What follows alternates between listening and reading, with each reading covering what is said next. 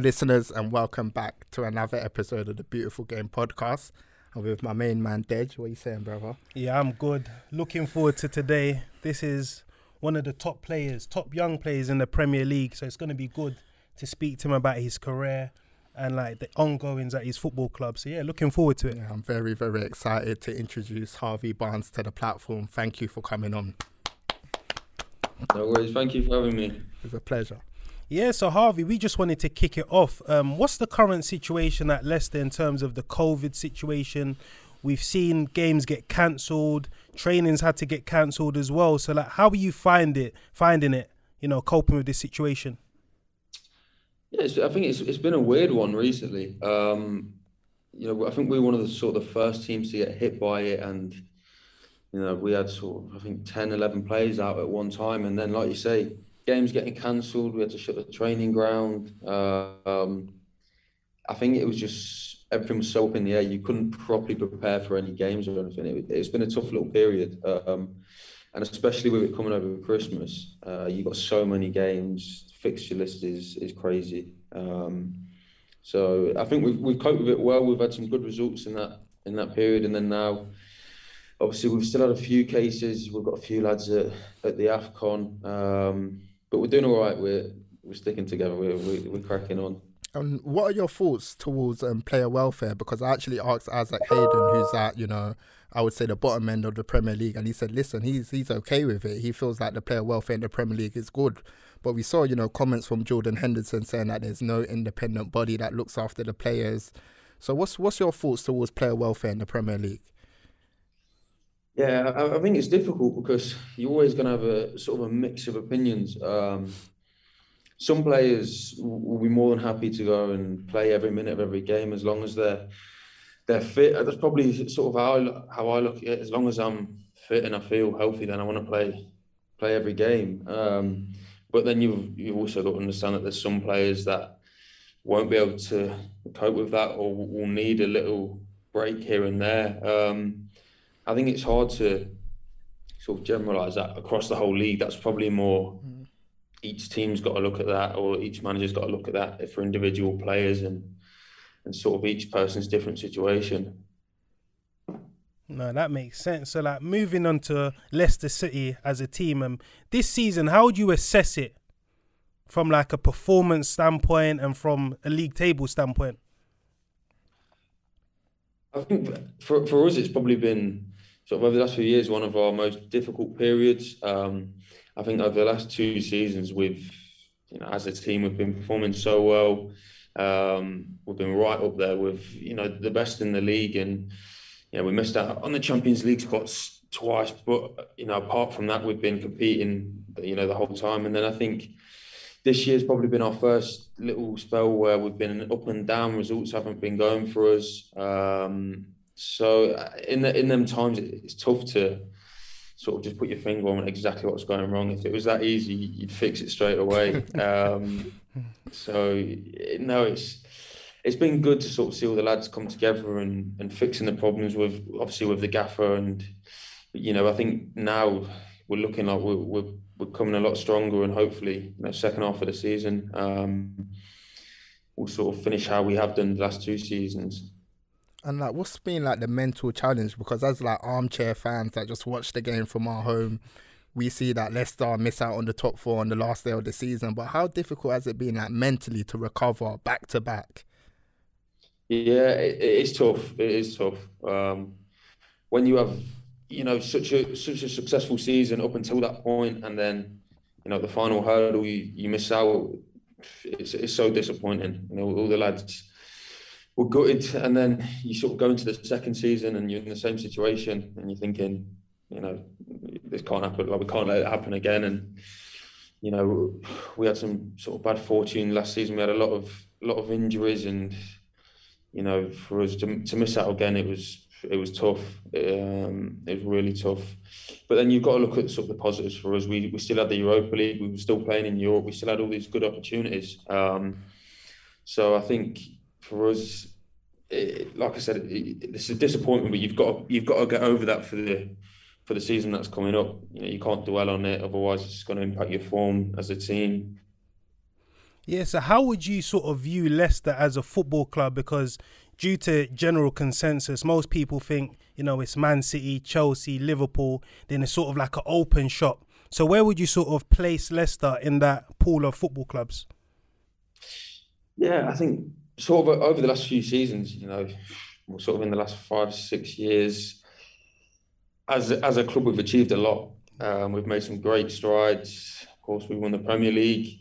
Um, we've been in Europe. Um, we won the FA Cup, Community Shield. We, have had some some great moments as a club. Um, but like you say, I think there's always that sort of view that that is the the top what the top four of the table, which I think you know you, you look at it this year, especially the, sort of the strength that them them squads have and the way that they're playing consistently year on year is it sort of shows why they are right at the top every year. Um, but I think as a club we know that you know we're getting there. We're, we're trying to push them them clubs as much as we can, and we've shown that we can do that when when we're at our best. So there's a lot of challenges for us, but it's good to keep pushing. I just want to touch on your manager, Brendan Rodgers. Um, we've had him on the platform, great guy, and everyone we've spoken to within the game of football, and I'm sure Dej can back me up here, has had positive words to say about your manager. How important is he for the young players, especially? How's he been with you? Yeah, he's been great. I think you know since he's come in, um, not just myself, but there's been a lot of young players who have come into the side and had their chance, and sort of you see how they've developed as well. Um, and then for obviously for myself, I think he's brought my game on a lot. Um, tactically, he's very good, and you know, as a young player, you, of course, you know, a lot of young players in the league have the ability, but it's sort of the, the tactical side of the game which sometimes they have to develop. And I think uh, I think Brendan's been really good here with the the players and myself, where you know the, the parts of the game that we need to work on, he helps and, and works in real sort of focus on them little bits and parts of the game that he knows that your strengths and that you're good at. It's to keep working on them and get them even better. Um, so I think it just for my all round game, he, has been great to develop that over the last few years. Yeah, because earlier on in the season, um, after Ole Gunnar Solskjaer got sacked, there was a lot of noise surrounding him saying Brendan's looking for a new house in Manchester, he's going to be leaving Leicester, etc. yeah. Did he sort of like reassure the boys that, listen, I'm all in in this project, I'm here to stay, I want to be part of this long term future? Yeah, I think I think he did. Obviously, it's difficult for him in that situation where it's all in the press and uh, obviously, he knows that the lads would have all read that, and there's all this speculation. Um, but he did, yeah. I think he made it clear to the lads that you know, whilst he's at this club, his full focus is with us, and you know, he wants to move forward with the project that we've got going on. Um, so you know, I think as a as a team, it's, it's nice to it's nice to hear that and know that you know he's he's with us for the for the ride. And how, how do you sum up your performance levels this season? Because last season, I think would I would say it was your breakthrough season. You were terrific. You were flying, and then I think you picked up a nasty injury towards the back end of, of the season, if I'm not mistaken. So how yeah. do you like sum up your season so far? Where do you think you can improve? What do you think you've done well? Yeah, I think it's probably been a bit of a difficult first half of the season for me. Um, Whereas, you know, like you say, last season was probably my, my real breakthrough season where I felt like I was in some really good form. Um, and things were going, you know, really well. Every game I was going into, I felt like I was going to score, or um, I was just enjoying my football. And then, what Harvey, course, is that is that something that the manager was telling you to get in behind? Because I saw a lot of your goals were like literally running in behind and just you know finishing literally. Like, is, is that something yeah, the manager yeah. told you to do more? Or?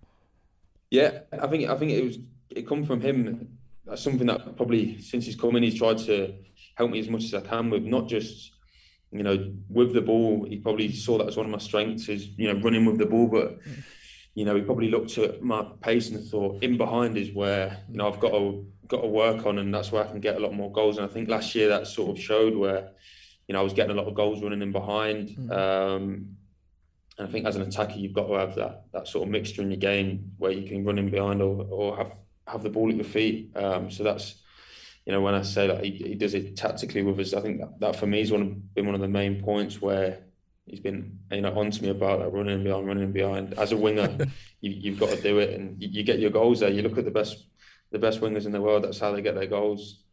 Yeah. So talking about the best wingers in the world, obviously in the Premier League, we've got top players at Mane, Salah.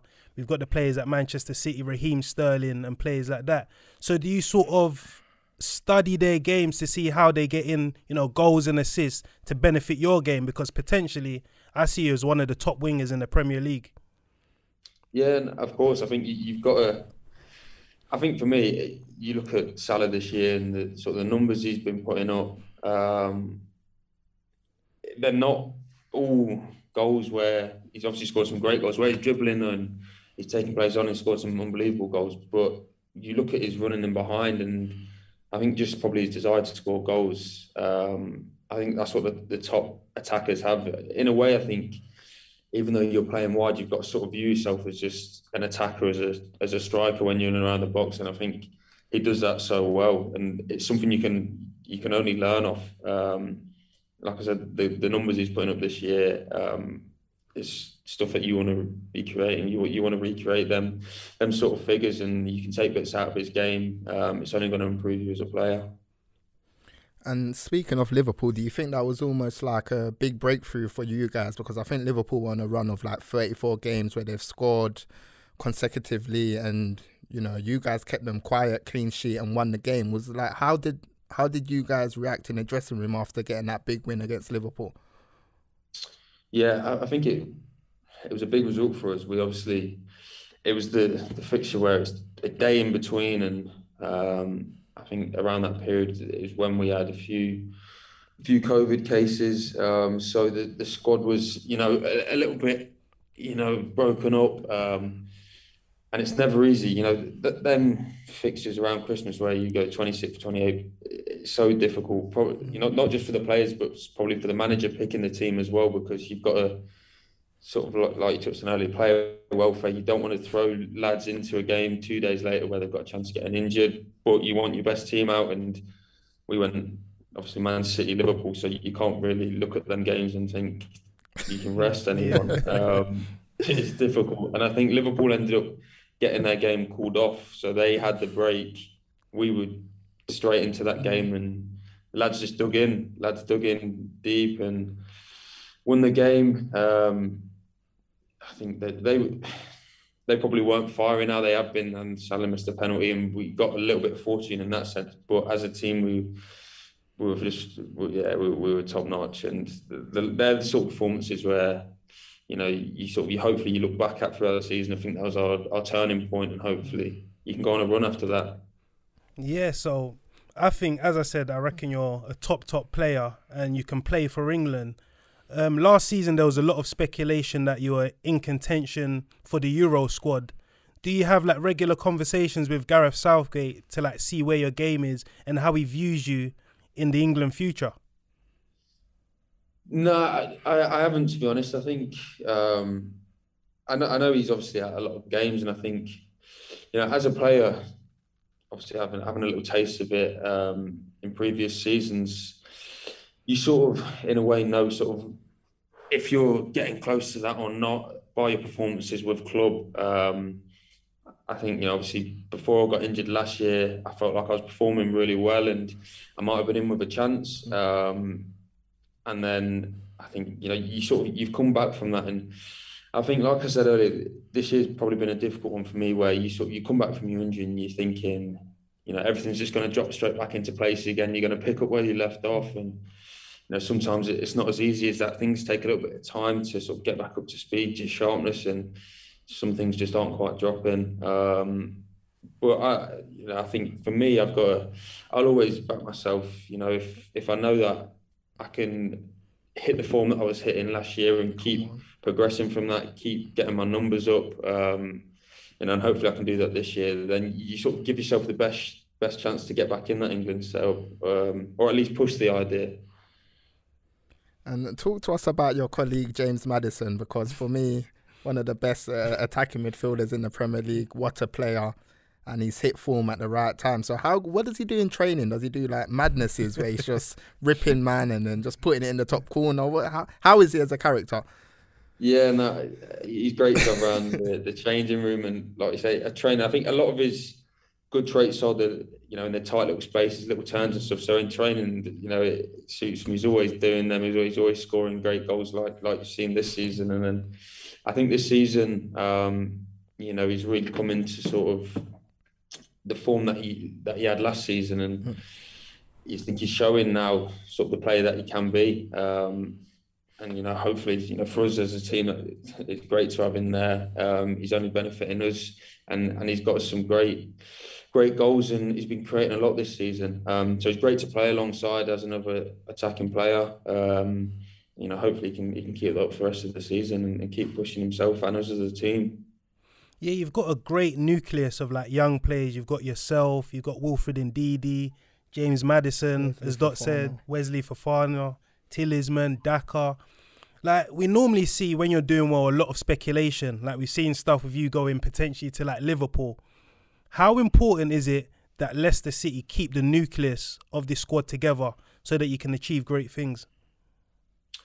Yeah, I think it's been important. I think you've seen that over the last few years. Um, the young players that have all sort of come together. Um, I think we've got a great mix here. You know, we've got a lot of young, good players. We've we've still got a lot of more senior players in the squad who have been here for the history of the club and have won all the great things that, that the club have. Um, but like you said, the young players that we've got at the minute, I think it's such exciting times. Um, and you hope that you know the whole group can stay here for as long as they can and keep progressing each year because um, I think uh, you know all the young players are only going to get better each year. Um, but it, you know things happen in football. Of course, they do. Someone someone may end up leaving. You may end up getting someone else through the door and, and bringing someone else in. So um, for us, we just got to enjoy it while we're all together, of course, and you know hopefully keep progressing and playing exciting football. So, like, what do you think, sort of like the the limit for this Leicester team, if you're to keep everyone together? Like, how high can you go? Is it challenging for Champions League places? We've seen you win the FA Cup. Is it potentially winning the league? I don't know in a few years' time. How how high do you see? What's the cap for this project? Yeah, I think us as a team, I think this year's the difficult one when you see this the strength of probably the Man City you look at and you think they are sort of in a way they're running away with it this year. They look they look sort of on a different level yeah. to everyone this year. So it's it's tough when you look at that to go, you know, could we finish above them comfortably? It's difficult. But as sort of I said over the last few years, we've shown that when we're at the top of our game and you know, we've obviously had a lot of injuries over the last few years which have which have hurt us. When we've got a fully fit squad and everyone's there I think we can compete with most teams. Um, you know, you look at West Ham this year, what they're doing. Um, I think that's sort of been how we have for the two previous seasons where we've been right in that top four the whole time. And when you're in that momentum and in that good place as a team and you're winning games, you, go into every game thinking, thinking you can win. Um, so I don't know, it's difficult to, to say an exact target, but we know that we can definitely push the, the top teams. You know what? I want to go off on a tangent, and we're gonna ask you probably a few more about on the pitch, but then we'll just round up with off the pitch. But I just, you know, I had a thought that come into my mind, and I was talking about English talent in terms of how many top wingers are coming through in England. I think before it was like English players don't have the flair, the dribbling ability. It's all about physicality, aggression, and all of those other stuff. But now we've got yourself, we've got Jadon Sancho, we've got Bukayo Saka, we've got Jack Grealish, we've got James Maddison, mm. we've got Smith Rowe, Smith Rowe, Gallagher. It's, it's, it's, endless. Mm. What what has been the drastic difference in English football for all of you guys to come through? If you had to say something. Um. Sorry for putting you on the spot. Maybe, I, I, don't know. Uh, maybe it's just everyone being given the opportunity. I don't know. Um, I think sort of especially I think when I was in the the England youth teams, um, I think at that around that time anyway, all the youth teams were doing so well at their age groups. You know, whether it was the 16s, 17s, 18s, you know, f- probably throughout the last six, seven, eight years, everyone seems to be winning at their age groups. You know, being sort of the top sides. Um, so whether it's just been I don't know the generation of all the young English talent coming through in and around the same time. Um, and then, of course, you need that opportunity to play and, and, showcase your ability. And when you're doing it in the Premier League, which you know is probably the best best league in the world, that's where you're judged at. And if you're you're doing well there and you're hitting the numbers there, you're going to get the recognition. Um, so it's, it's difficult that, that, like you said, there's so much talent, so much young talent. It's. It's so exciting. You, you look throughout most teams in the league. There's there's young talent coming through, exciting talent, and you know it's, it's only good for the league. Yeah, when we had sort of Yannick Bolasie on our podcast, he was speaking about the modern generation where it's sort of like attacking players prefer stats over performance. So like if I was to pose you the question like, okay, what would you rather do? Have a brilliant game, you work hard for the team, you get the win, but you're not on the score sheet or you don't register an assist, or you have, you know, average 90 minutes and you get a goal or assist. Which one would you prefer? and you win. As long as we still win. Yeah. Okay, yeah. You gave the right answer. Yeah. But it's, it's true. It's like you say. Now it's if if you if you're at the game watching the game, then you may you may go, oh yeah, you know he's brilliant. He played great. He didn't score, but he was top level. But then for everybody else who wasn't at watching the game or whatever, may look at the whatever it is, Sky Sports, whatever, and say, ah, he scored again, or whatever it is, watch match of the day and you see he scored again, and it's they both. I think they both matter, but uh, like I think over the last few years, stats have become a massive thing. Um, when you're a newspaper, whatever it is, not a newspaper anymore, but it's all social media. It's yeah. he scored again. He's got this many goals. it's all you know. He scored again. He's got this many goals. He's this comparing stats. So you, you have sort of got to base your game around that a little bit. And I, I think for if you're a manager looking at it, if a player is going to get you a certain amount of goals each year, whatever it is, it's only going to benefit the team anyway. Yeah. So do you like set targets before a season? Like, okay, this season I want ten goals, ten assists, or yeah, I, yeah. At the beginning of each season, I try to set myself, you know, some targets. Yeah, for the season. Yeah. Yeah, so like talking about your personal like short term goals. So like within the next two years or so, where would you like your game to be at? I think for me, I've just got to keep progressing from what I'm doing. I think first of all, I still need to.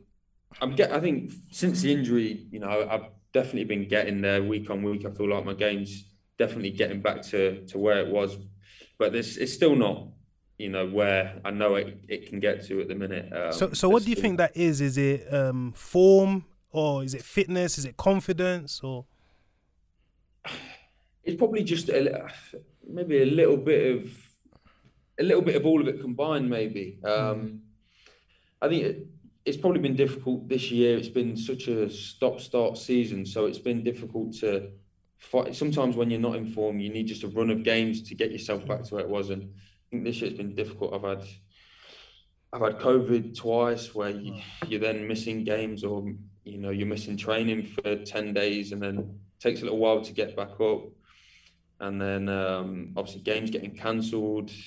You know, I missed the the Christmas period where we had all the the big games because of COVID. Um, so it's just all these probably little, little things and little breaks, which normally in a, in a normal season you wouldn't have. You know, and yeah. Normally, unless you're injured, you're fit and available for every game. It's up to yourself. Um, but I think you know over, over, sort of the last month or so, I feel like I'm definitely getting back to the levels that I know I can get to. Um, and I think you know with seasons that come in the next few years, like you said, um, I just know I need to keep progressing that and keep building on that. Stats is like I said earlier, got to keep getting as many goals keep getting those numbers. keep getting those double doubles. and as a player, listen, everyone loves scoring, so yeah. you want to score every game. Of course you do. So for me, it's you know you want to score as many goals as you can, and and with Leicester, you want to progress as a team as much as you can, and go on to hopefully win more silverware. And I think last one um, on the pitch in terms of um, currently at Leicester. Like, what what do you want to say to the Leicester fans because they support you through thick and thin? There's COVID, but they still pack out the King Power Stadium. Away days, they're traveling to Manchester, Liverpool, going to those big away games. So, what is your message to the Leicester fans? Yeah, no, they've been unbelievable over the last few seasons. You know, especially since since I've really sort of come into the first team and I've seen sort of them week in week out. I think that's when you appreciate. Um, sort of how, how good they are. Um, it's like you say through through the thick and thin parts. Um, sort of the players feel the disappointment over the last two years of missing out on the on the Champions League, but you've got to also understand the fans do as well. Mm. Um, they're desperate for the for the players to get it. Um, so you know you know they've had. I think everyone always looks at Leicester such a, a roller coaster club. We have such highs. Um, yeah at the club, and then sometimes we'll, we'll, we'll have such low moments, and they're all they always stick by us through that. So you know that they're the players always appreciate that, and, and we know how much they, they mean to the club. Yeah, so talking about outside of the pitch, we speak to a lot of players. They've got different interests. Some might be gaming, property, fashion, things like that. So, where do your interests lie outside of football? Um, hobbies wise, I like to get on the golf course a little bit. Okay, yeah. I'm not. I'm not. Who's I'm the be- who's the be- who's the best at Leicester? who's the best at Leicester? Who's the best? Do You know what? I always say this. We don't actually have like a top golfer. Normally at a goal, uh, sorry, at a football club, you have like a Someone really, else. really good golfer. At Leicester, we have lads who we have a good group who play actually. Madders plays. Kiernan plays. What about senior man? Senior man. Senior man's not, not getting involved. Uh, I don't think he's a golfer. Um, but yeah, I enjoy I enjoy golf. Not now; it's too cold now. But mm. in the summer, um, it's good. It's good to sort of when you come away from football to sort of have a few hours on the golf course, switch off. What about your fashion? Are you into your fashion? You know, into the latest drip, or yeah, just keep I it am, simple? not like nothing mad. So who's the maddest at the club? Then? Maddest. Is it maddest? some some of it's some of it's like norm like some of it's good, mm. and then some of it's mad sometimes. okay. But like Wilf sometimes wears some some mad stuff. Some of the lads have come in with some questionable outfits, but you just sort of had a blind eye, pretend you don't see it. No, I think the last one from me, Harvey, before you let you go, is how do you actually deal with the fame? Because you now go into the city centre and everyone knows you in Leicester. Oh shit, that's Harvey Barnes. Raw.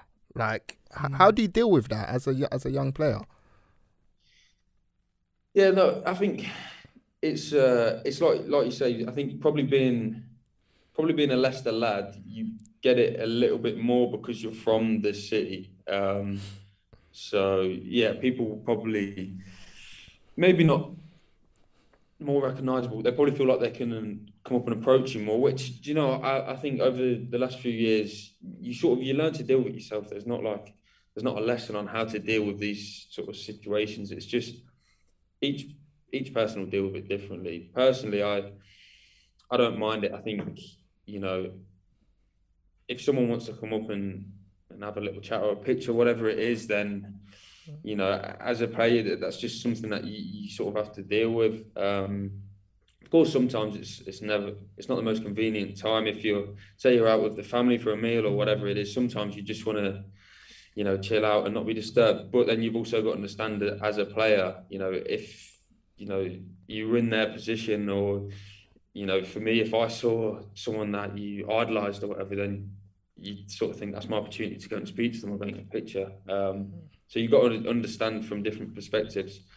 But I don't think that I can't imagine anyway that there'll be many players that would, you know, be massively rude or turn that down. I think it's just something that as players you sort of you learn to deal with and it's part of it. No, that's a perfect way yeah. to wrap up. It's it's been a pleasure mm. catching up with you. Thank you very much for giving us your time you know, after training, staying behind to speak to us. So we really appreciate it. That's all right. No worries. Thank you. Thank you, Thank Harvey. You. Really appreciate it. So, so that's an, another episode of the Beautiful Game podcast. We're gonna leave it there. Please like and subscribe to the YouTube channel, which is the Beautiful Game podcast. Leave a comment if you enjoyed the episode. Also, um, follow our socials, which is at podcast underscore TBG on Twitter and at pod underscore TBG on Instagram. And we will see you soon. Peace.